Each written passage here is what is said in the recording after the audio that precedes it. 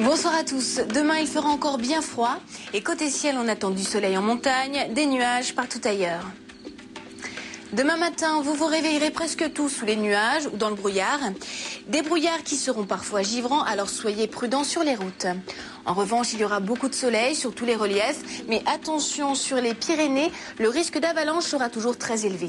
Enfin, on attend aussi du beau temps autour de la Méditerranée et seulement quelques éclaircies en Corse. Dans l'après-midi, soleil, toujours entre le pourtour méditerranéen.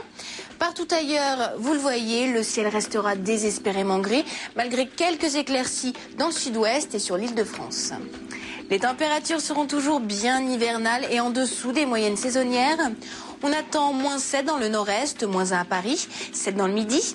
Et dans l'après-midi, n'espérez pas plus de 0 à 9 degrés en moyenne, 0 à Strasbourg, 3 à Paris. Il fera un peu plus doux autour de la Méditerranée avec 10 à 15 degrés.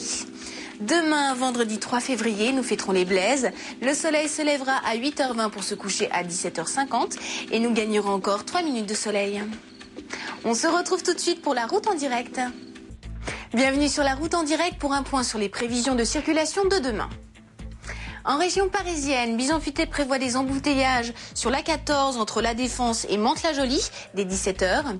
Du côté de Bordeaux, sur la 10 dans le sens nord-sud, là des ralentissements sont à prévoir demain en fin d'après-midi. À l'est de Lyon, sur la 7 en direction de Valence, les difficultés commenceront dès 16h. Enfin, dans le sud-est, entre Orange et Narbonne, la 9 devrait connaître de sérieux ralentissements à partir de 17h dans les deux sens. Ce soir à 20h50, ne manquez pas En voilà des manières. Bonne soirée à tous et à demain sur M6.